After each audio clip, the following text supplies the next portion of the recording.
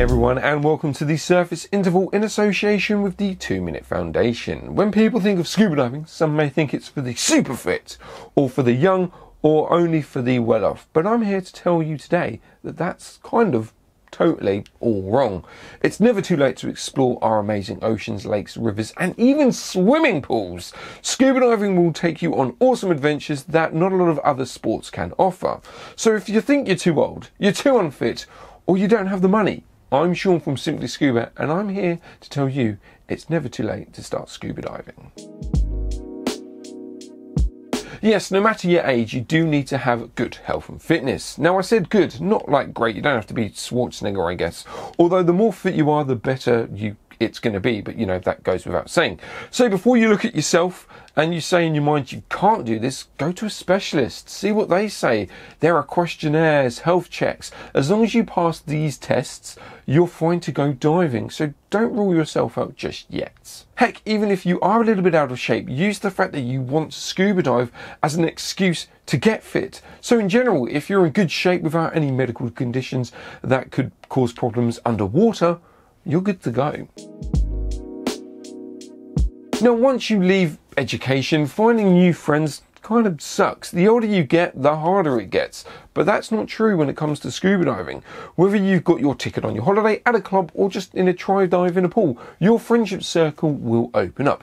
If you loved your first dive, again, whether that's in a pool or whatever, then you are surrounded by like minded people. Your group of friends will get bigger and you will have better connection with them because of scuba diving. You'll start planning trips with them, start hanging out with them outside of the water. Heck, one day your main friends may be the ones that you dive with rather than the ones that you hung out in school. The scuba diving community is amazing with tons of inspiration, advice, and just awesome stories. Get used to that. Scuba divers love their stories. All sports, all sports or hobbies will take you to cool places, but scuba diving takes it up a notch from isolated islands, places that I certainly cannot pronounce, uh, places that takes hours if not days to reach, to hopping on a boat and within an hour being in the middle of the ocean, ready to explore what's underneath. Scuba diving will get you looking at a map, but not looking at the land, but looking at the sea and what potentially lies there. The places that you will explore, for the most part, are only for scuba divers, potentially snorkelers, and free divers. So it makes the whole experience feel that little bit more special than a general holiday. Yes, this of course could cost you a ton of money, but on the flip side, the new place that you're diving could actually be on your doorstep. You've just never thought about it as a dive location before. Scuba diving is known to help with mental health. It relaxes you, makes you think of the bigger picture, I guess. But when you throw into the fact that you've made a bunch of new friends, you're going places you've never been before, home or abroad, and you're actually planning adventures, your confidence will go through the roof. The drive that scuba diving gives you as an individual is truly amazing, and to surround yourself with like minded people is just awesome. So you help with problem solving, asking the right people the right questions, or figuring figuring out what you did wrong yourself, all of this will boost your confidence and it will no doubt start leaking into your non diving life as well.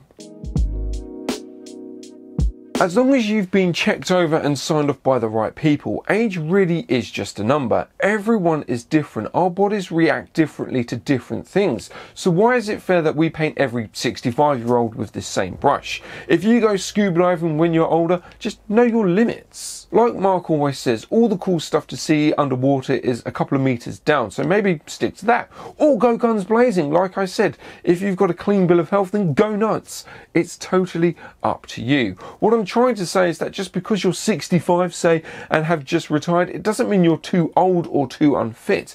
Take the right steps, and you might be heading in the water sooner than you thought. So there we are, just some reasons why it's never too late to start scuba diving. How old were you when you started scuba diving? Are there any other reasons that I missed out? Let us know in the comments below and let's inspire non divers, in technically, and I'm including myself into that sort of. Um, get into scuba diving? Let us know below. So at this point of the video, I normally ask you to head over to simplyscuba.com, which you should of course definitely do.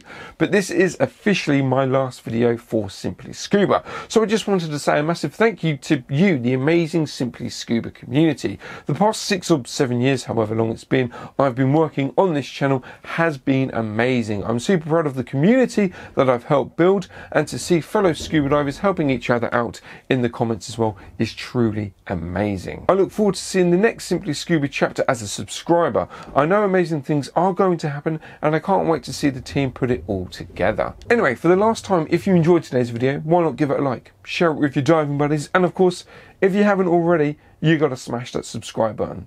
Thanks for watching everyone, and as always, stay classy, scuba divers.